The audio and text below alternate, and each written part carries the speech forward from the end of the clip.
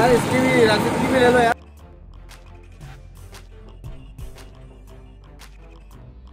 हमारे पास हर तरह की मछली होती है, हीरा है रेड स्नैपर मुल्ला है, धोतर है, पापलेट है वाइट कुंद होती है, जेरा, झींगा होता है, और जो हमारे अपने मसाले होते हैं, दुकान तो दुकानों से नहीं लेता हम। हमारा अपना काम है, यहाँ पे हमें 18 साल हो गए औरंगी टाउन एक नंबर बिलाल मस्जिद के बिल्कुल सामने। फैमिली रूम भी हमारे पास अवेलेबल है। और डाइनिंग भी है। तकरीबन पूरे कराची में अलहमदिल्ला सबसे ज़्यादा मछली सेल हमारी होती है।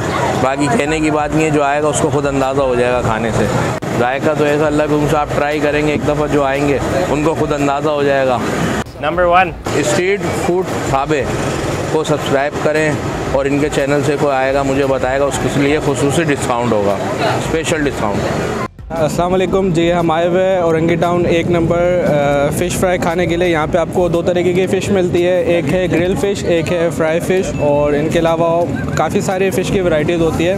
यहाँ पे आपको बहुत बेहतरीन टेस्ट मिलता है। सर्दियों के लिए बहुत मुनफरद आइटम है। ये सेहत के लिए भी बहुत अच्छा होता है और बहुत ही हेल्दी फ़ूड है ये। आप यहाँ पर ज़रूर आएँ। एक नंबर अलमदीना फ़िश फ्राई इनका नाम है और यहाँ पर बहुत ही मुनासिब कीमत में फ़िश देते हैं। ये माशाल्लाह औरंगीटोन की बड़ी मशहूर अलमदीना फ़िश है और बहुत ज़बरदस्त आप लोग खाएँ चक्कर लगाएँ। और बहुत टेस्टी है माशाल्लाह इनकी ग्रिल बहुत अच्छी है। और ज़बरदस्त ज़बरदस्त यानी अच्छी अच्छी फ़िश है ये। मज़ेदार। मौसम काफ़ी ठंडा हो गया है तो मौसम के हिसाब से हम यहाँ दोस्तों के साथ मछली खाने आए और माशाल्लाह यहाँ की, की ग्रिल की हुई मछली बहुत ज़बरदस्त होती है खाने में बहुत ज़बरदस्त है। तो दोस्तों का इन्जॉय भी हो जाता है।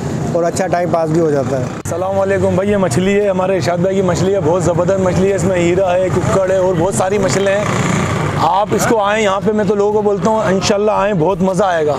मुनासिब पैसों में, औरंगी टोन एक नंबर। तो ये मछली वाले हैं, इर्शाद भाई बहुत मशहूर है, माशाल्लाह से। और मैं सबसे अपील करता हूँ कि आओ भाई, चेक करो। बेहतरीन मछली है और हर तरह की आपको मछली, ताज़ी मछली मिलेगी। टाउन एक नंबर में बैठे हुए हैं। इनकी फ़िश बहुत ज़बरदस्त होती है। ये हमारे मेहमान आए हुए हैं हैदराबाद से। सर्दियों में अक्सर हम लोग खाते हैं यहाँ पे आके। जायका इनका बहुत माशाल्लाह से बहुत मुनफरद जाएगा बहुत बेहतरीन रेट में भी बहुत मुनासिब है।